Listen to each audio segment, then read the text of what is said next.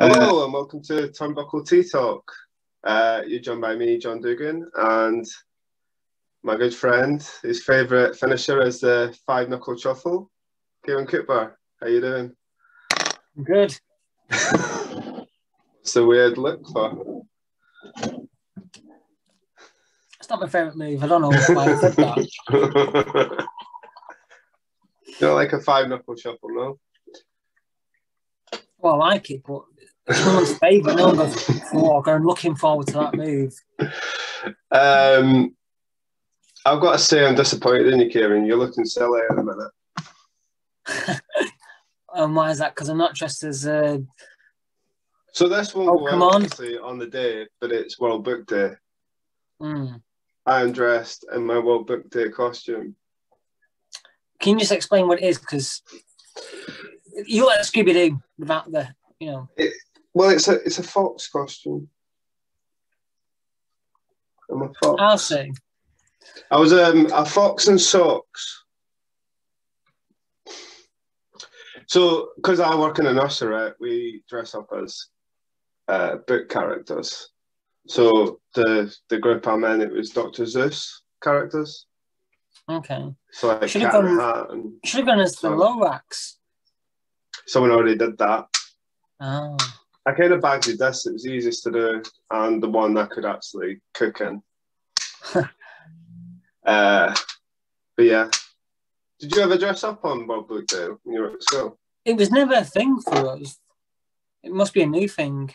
It is quite new. I did one year, but it's because we did like um. Oh, I forgot to say, go and make a cup of tea if you haven't. Um. Do you, you know in school when you do like assemblies and you've got to do a little presentation? I don't know Mm. if they do it in America, but if anyone, people watch from America.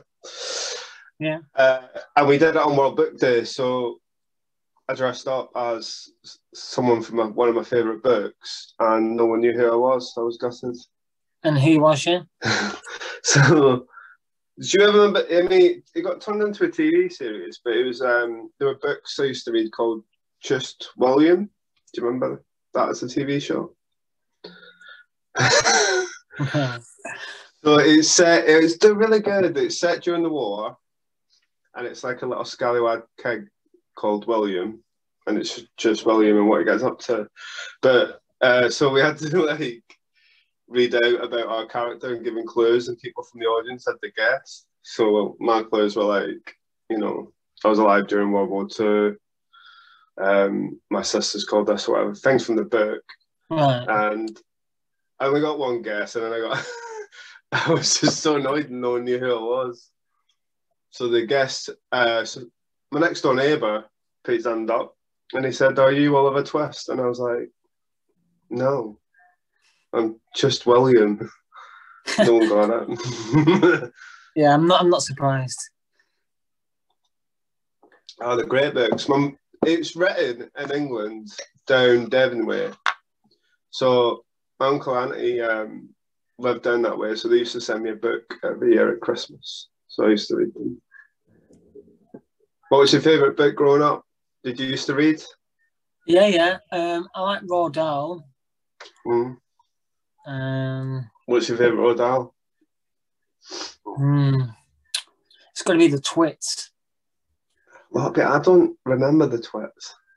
It was two. It was an elderly couple, and they hated each other, Mm. and they played pranks on each other. So one of them, um, the man, no, sorry, the woman, the wife, shortened the husband's uh, walking stick inch by inch every day.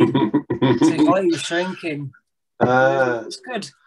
Dahl wise, mine was either Matilda or um, George's Marvelous Medicine.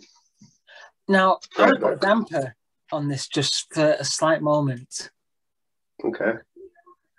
Do you know about Roald Dahl? About his life? There's a film out at the minute about him, isn't there?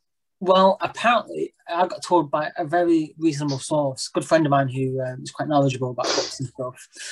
They said that Roald Dahl used to drug his daughter so he could have an affair. Oh, Yeah, and um, that one day his his daughter kind of woke up early and discovered, you know, that she was being drugged, so her dad could have an affair. Oh, I didn't know about that. Yeah, it's I might have to look into that. It sounds very dark. Hmm. I thought it was some Ma- sweet old man. well, yeah. Um, my favorite ever book was uh, Doctor Dolittle. I used to read that all the time. See, To the I to the point though, like because we used to borrow books from a class, I would just bring the book back to get it restamped, and my teacher eventually went, "John, you're gonna have to give me the book, and we keep it. Pick another book. You've read this about, tw- you've returned this twelve times and took it back out again. Read something else." And I are was just you like. Matilda?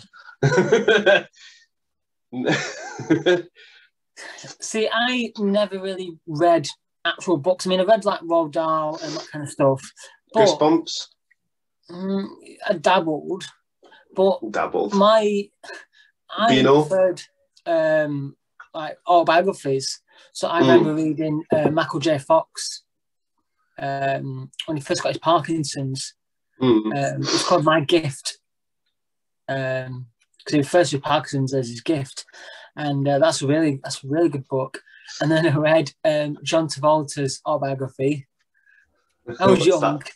I was young. Um, I, I I prefer autobiographies now. That's all I kind of Yeah. read. That's all I um, read. Yeah. I remember. And, um, I also Come on. read actually um, Where's Wally, if that counts. I used to get Where's Wally. Remember they did um, like history and geography ones, and to Yeah, yeah, they were, they were really good. Well, I did that. I, got it every week, and before I moved to Spain, I sold them at a car bit, but they're probably worth a lot of money now. Aye. But I quite like history, so Uh, yeah. DUI. um, best autobiography I've read, which is interesting, is uh, Sammy Davis Jr.'s. It's a pretty good Okay. one. I didn't know he had a glass eye till I read it.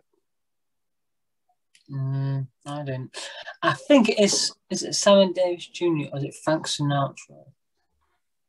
One of them. So their gimmick was that they drank every night on stage. Mm. obviously, that's not that's not possible. So they drank like apple juice. You know, Uh, um, so people thought it was whiskey. it may have been Dean Martin. Dan, Dean Martin had that sort of persona. yes, I think it was Dean Martin. Yeah, yeah. I used to, I love the Rat Pack and all that. Speaking of lazy eyes, um. Oh. I only found out yesterday because I, I watched the uh, Biggie documentary um, on mm, was it? I think it's on Netflix. Biggie, I have a story to tell. Um, Biggie Smalls has a lazy eye. Oh, Biggie Small. Mm. I thought you meant Big E, is in the wrestler Big E. No, Biggie. I thought you were Biggie. saying Big E because there's a No, no. documentary on Big E on the network. Yeah, I've not seen like- that. yet. No, I had a lazy eye, didn't I? Yeah, Well, hmm. I want to watch that documentary. It looks good. it is good. Yeah, it's just quite. If you're not into rap music, it's not for you because it's quite factual about, like, you know how some documentaries, like, even if you don't really know the artist, you can get into it quite easily. Mhm. This one is very factual about hip hop and kind of the streets he grew up on, grew up on, and uh, yeah. So Well, I'm, I'm quite into rap, so I mean, I like music I mean, you are very gangster. in general, as you can tell. I'm a fox at the moment. What does the fox say? they were playing that today at work. um, I need to watch that documentary. Uh, I know we always end up talking about wrestling. There's a couple of things we need to kind of talk about. One, new champion, Bobby Lashley. Not impressed. Underrated. Overrated. Uh, sorry, overrated. Yeah, sorry, that's what I meant. Um, everyone like jumps on, jumps on him, but I think it's a bit boring, and as It's don't yeah. I just don't see the, the flash that everyone else Um, the thing I like though, I was thinking this today, is that they built this faction to be like this powerhouse of a thing, and they are because you've got the tag team champions, you've now got the champion. I mean, they're not new, they are, or any kind of faction DX or anyone like that, but how long is he going to be champion for? I think he's just champion until someone better comes along. Mm, yeah. Uh, the thing is, everyone's like, "Oh, I hate the Miz. Why are you champion again?" I absolutely love the Miz. Miz is good. He's so funny, and he's a good wrestler. He's good at his gimmick. He, he's good at uh, promos. His promos Yeah. are. He's the best one at promos, I would say. To do them off the cuff, I mean, to give like great, Yeah. real emotion into it. It's when he came on and was like, "Ooh, I've won the belt again. Why is he winning the belt?" He's just Um, funny. Just a funny guy, isn't he? yeah, I like him. Like you see him on Total Divas and that, and I always quite. He's passionate about wrestling. I think that's what I like. So I don't get. I Mm. mean, he's a heel. You're meant to hate him. So if you hate him, he's doing his job right. But I kind. I mean, there's some heels I like. like, sort of like JBL. Mhm. Mhm. John Mm. admitted that he hates JBL. it's not that I hate him. I just I preferred when he was like an acolyte. I think. Um, that's quite good. The live one we did, wasn't it? Yes, we did a live because I got a lot of questions. Um, just people asking about um, John's Scottish heritage and just asking kind of uh, whereabouts we're from in the UK and stuff. So I thought, why not answer these questions and people can interact with us with by doing a live tea talk. And it was our first one. Um, and yeah, it was all right. We uploaded the footage onto YouTube. Yeah, we were a bit sideways because Kieran Yeah. was doing his granddad stuff and didn't know what he was doing. I, know, I know for next time. yeah, but it was Well- good. I enjoyed it. It went really quick as well. We've got some good questions done, and, and we had people from America, which was fun. Somebody from Yes. Tennessee. Yeah, we had a guy sharing his birthday with us. Mm, Yeah, 36 years old. not too shabby. I think we'll do one again, another live one. Mm. Um, talking about people getting older now. Uh, have you seen the big show in AEW? I have, yeah. Have you seen his little teaser? Yeah, a special announcement. Um, so he's announcing somebody else, isn't he? Yeah, so he said it's a Hall of Famer. Who do you I think mean- it is? That could be anyone. That could be, I mean, yeah, you really hate the Hall of Fame, don't you? no, it's just because they put in like celebrities and people that are just, I don't think they're Hall, Hall, of, Hall of Fame worthy. Who do you think it is? I am going to take. Shall we guess and see? I don't even, I don't know where to imagine. Um, okay, Think, well, think of someone that would be good in AEW. I'm thinking maybe DDP because I know Big Show does DDP yoga and stuff like that. so does everyone. Chris Jericho does it. Well, Um, exactly. So that may be why he's going in it. He's in with everyone. It's a Hall of Yeah. Famer. Is DDP a Hall of Famer? Yeah, I think he is. He, he got put in. Yeah, 'cause- more because of like all the rehabilitation he's done for wrestlers. Yeah, yeah. Um, I'm sure he's a Hall of Famer. what about like X Pac? Yeah, he's technically a Hall of Famer, isn't he? He's Twice, is he not? I think. Yeah, as uh, part of a group, not by Yeah. himself, but yeah. But he tagged in with the Big Show previously in WWE, Mm. didn't, he? So, Yeah, um, and I think X Pac is that kind of age where he has like maybe two more years, you know, until he kind of he'll retire for good. he still he still kind of wrestles, doesn't he? Yeah. Um, yeah, I thought it was quite interesting. I like his new T-shirt. Have you seen that? yeah, no, No more BS. BS. That's Yeah. clever. yeah. That's quite clever. That. Um. but yeah, that's the wrestling of it. uh, have you been up to much else? Well, I've got some exciting news, John. Um, Monday morning, schools are back, aren't they? Emily's going back to school. oh, have you not enjoyed homeschooling then? it's just it's just it grinds on you. uh, what have you done this week, Homeschool and Mines? Um, we did. I can't remember the word is, but it's when like there's a double, uh, the same letter next to each other in a word. All right. I have no Um, idea what that's called either. There is a word for it. I can't. remember- I can't remember what it's called. So like, um, well, W E L L, Hmm. and you know words like that. But it's just the phonics. Eh. Yeah. oh God.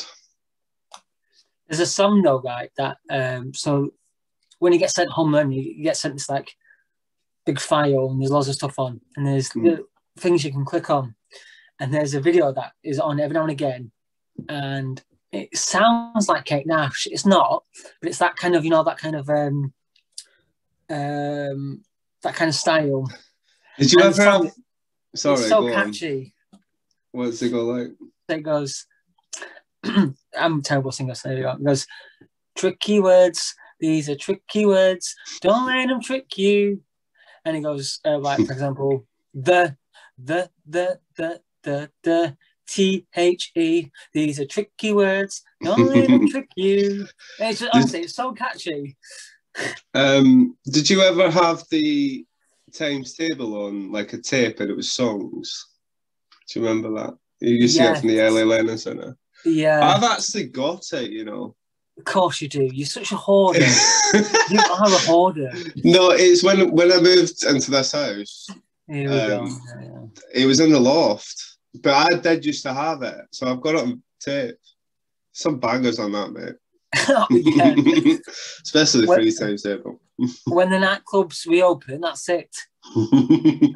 Two, uh, two. yeah.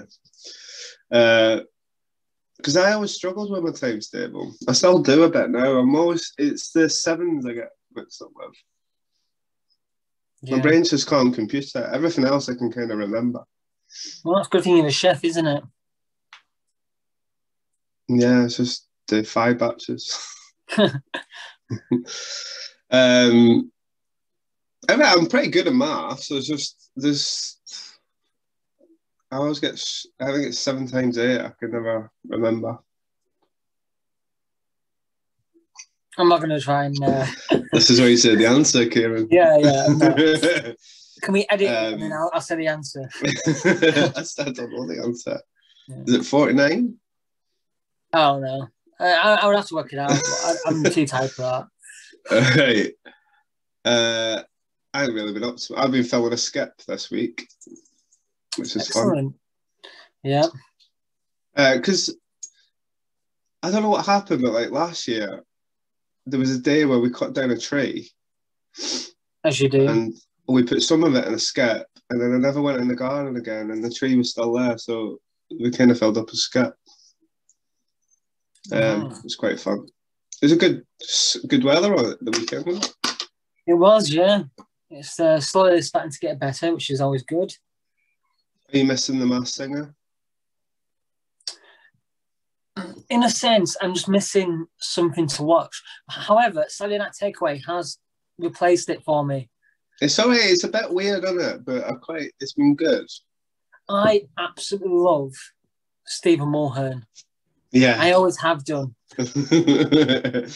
oh yeah, he's he's always good at it. He's So the reason I like him is because when X Factor was on, X Factor was quite funny when you have the horrible audition tapes and whatever.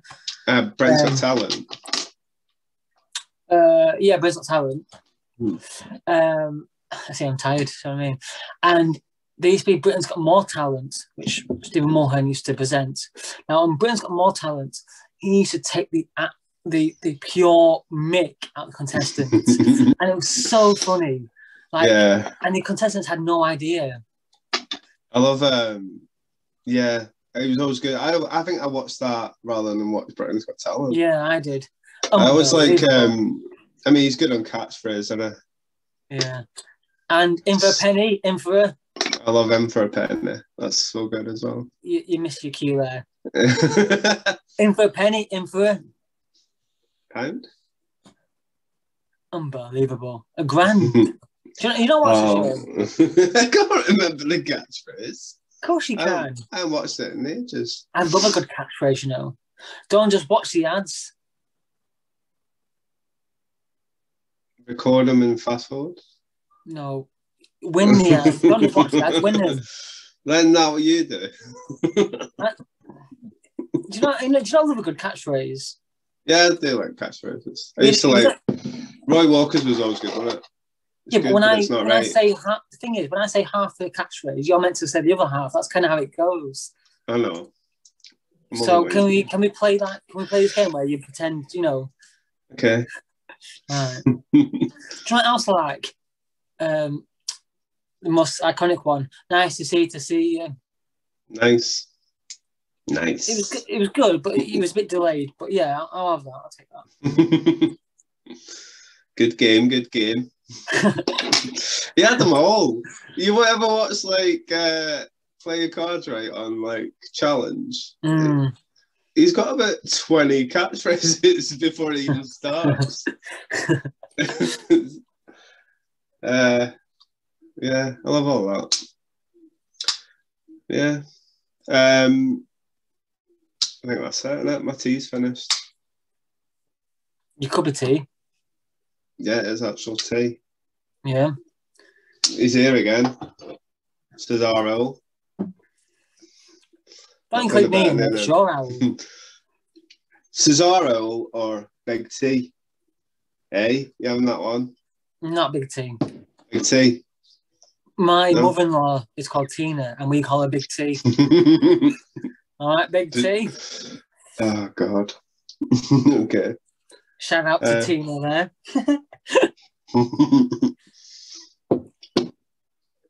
uh, anything to look forward to? I mean, we It's talk. opening. Yeah, it's a whale though, isn't it? Don't- Why do you always do that? It's such. it's such a damper. mate. It's a Don't whale. ruin it. You need I something to look really- forward to. Yeah, I mean, you'd you messaged me the date of the Scotland versus England game. Yeah, Fancy your chances, do you? 18th of June. It is 8 p.m. 18th of June, 8 p.m. hmm And the final and semi-final is at Wembley. Why is that? Because you're not hosting it, are you? Is it a mixture? Um, well, yeah, it was meant to be a mixture because of COVID, but um, England have offered to um, host the tournament, this tournament. Right. And on that, uh, Boris Johnson wants to host The World Cup, 2030. Yeah, That'd be good, a World Cup. yeah. Hopefully, you can make this one. Um, well, we are playing quite well. We've got some good players. I've got a good um, joke for you. I, so I sometimes use this right. So, um, what? How's the joke go? So it goes. The first time I ever made love to a woman, I didn't know what I was doing. I, I was just like I felt like Scotland in the World Cup, just happy to be there. God.